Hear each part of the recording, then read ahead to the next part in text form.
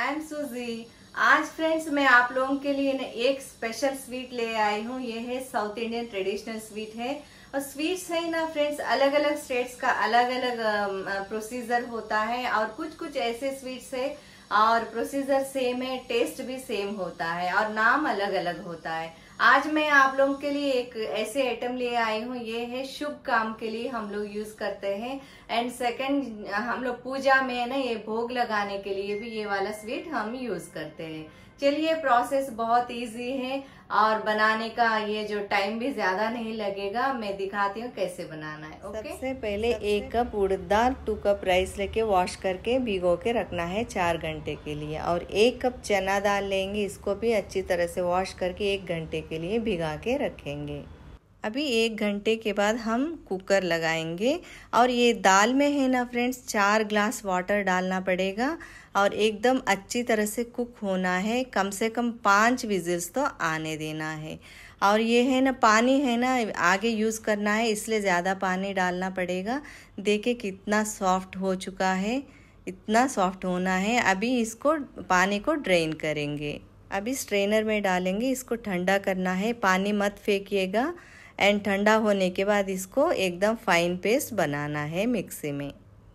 देखिए, अभी हो चुका है। इसको साइड में रखेंगे। नेक्स्ट हम बनाएँगे जागरी सिरप मैं ना जागरी जो है वन कप लिया है। वन कप चना दाल को वन कप जागरी पाउडर ले रही हूँ। आप जागरी भी यूज़ कर सकते हैं। इसमें वन फोर्थ कप वाटर लेके पतला करना है।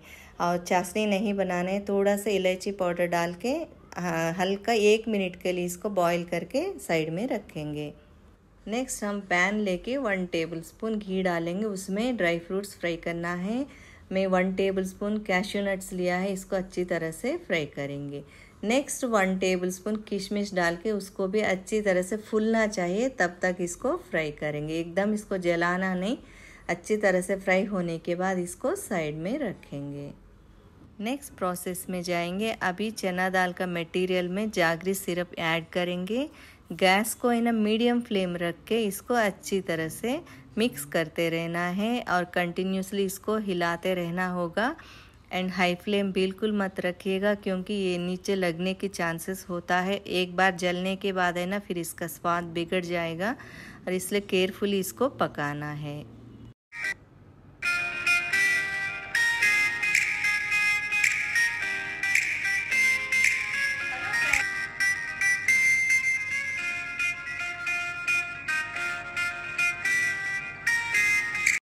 देखिए, अभी गाढ़ा होने आया है और थोड़ी देर के लिए और पकाएँगे। इसमें मैं फोर टेबल स्पून कच्चा नारियल पाउडर डाल रही हूँ और ड्राई फ्रूट्स है ना, जो ऑलरेडी हम इसको भून के रखा है और इसको भी इसमें डाल के एक मिनट के लिए इसको पका के गैस बंद करके साइड में रखेंगे।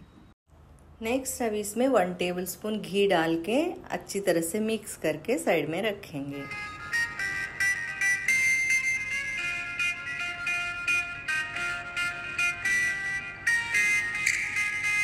अभी मटेरियल ठंडा हो चुका है बॉल्स बनाएँगे। ये वाला मटेरियल से आप लोग है ना पुरन पोली महाराष्ट्रियंस जो बनाते हैं, वो वो भी बना सकते हैं। और साउथ में भी इसको अलग अलग वेराइटीज़ का बनाते हैं। और देखिए इतना सारा बॉल्स हो चुका है, इसको साइड में रखेंगे। नेक्स्ट दाल और राइस को भिगा के रखी हो ना, उसको भी पीसेंगे। और देखिए एकदम फाइन पेस्ट बनाना है। और इसको एक बाउल में लेंगे। ज़्यादा पतला नहीं करना है। मैं दिखाती हूँ कंसिस्टेंसी किस तरीके से होना है। ये बैटर को है ना फर्मेंट नहीं करना है। ये फ्रेश यूज़ करना होता है। इसमें हल्का सा पिंच सॉल्ट डाल दीजिएगा। नेक्स्ट इसमें ऐड करेंगे खाने की सोडा जो है। बिल्कुल थोड़ा डालना है। और अगर आप नहीं चाहे तो इसको स्किप कर सकते हैं। नेक्स्ट अभी कढ़ाई रखेंगे ऑयल गरम करना है और उसके बाद हम बॉल्स को है ना, इस बैटर में डिप करेंगे और आप हाथ से भी कर सकते हैं। अगर चम्मच से ऐसे इस तरीके से लेंगे ना, बिल्कुल साइज़ अच्छी तरह से होता है और ये तेल ज़्यादा गरम नहीं मीडियम फ्लेम में रखना है और ज़्यादा बॉल्स मत डालिएगा क्योंकि चिपक जाता है। कभी कभी है ना, फट जाता है, उसकी वजह से तेल ख़राब होने की चांसेस होती है। और देखिए, मैं इस तरीके से डाल रही हूँ। और मीडियम फ्लेम में रखिएगा क्योंकि अंदर से इसको हमें पकाना है। एकदम हाई फ्लेम में रखेंगे ना, ऊपर से एकदम रेडी हो जाएगा, फिर वो पकेगा नहीं। ये वाला स्वीट है ना फ्रेंड्स हम स्पेशली सावन महीने में बनाते हैं, लक्ष्मी माता के लिए भोग लगाने के लिए बनाते हैं एंड स्पेशली शादियों में शुभ काम के लिए भी ये वाला स्वीट हम लोग बनाते हैं। इसे ना फ्रेंड्स डालते ही तुरंत हिलाना नहीं चाहिए। आप लोग हिलाएँगे तो नीचे से फट जाएगा। इसमें ऑलरेडी एक एक तो फटा है, इसलिए थोड़ा सा तेल में वो स्प्रेड हुआ है, जो अंदर का मटेरियल और ये ना तेल आप लोग रीयूज़ भी कर सकते हैं, वो ख़राब नहीं होगा। देखिए ऑलमोस्ट हो चुका है। और दोनों साइड अच्छी तरह से गोल्डन ब्राउन आया है, अब इसको निकालेंगे प्लेट में।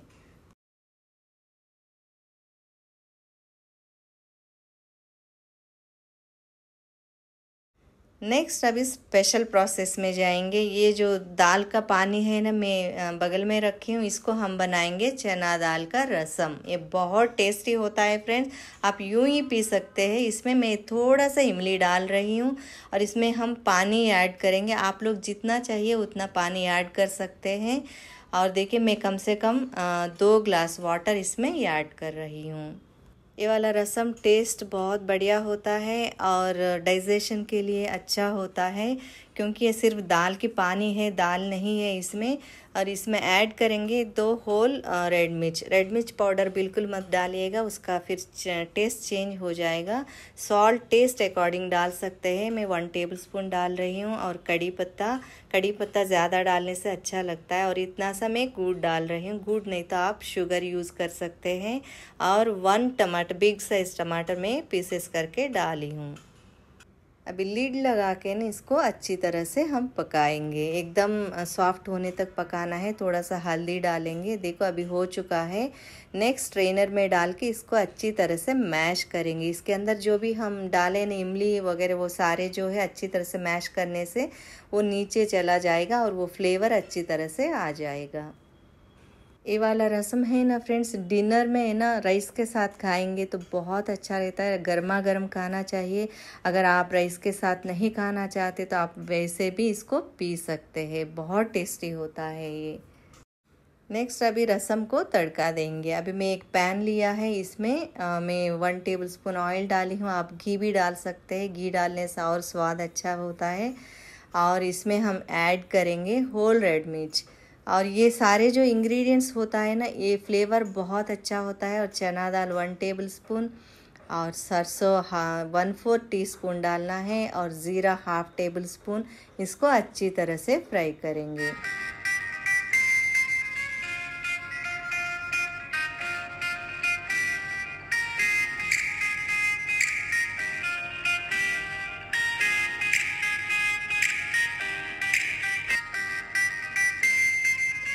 नेक्स्ट अभी प्याज ऐड करेंगे। एकदम बिल्कुल छोटी प्याज बारीक काट के डालेंगे और उसके साथ है ना कड़ी पत्ता भी ऐड करेंगे। इसको अच्छी तरह से फ्राई करना है।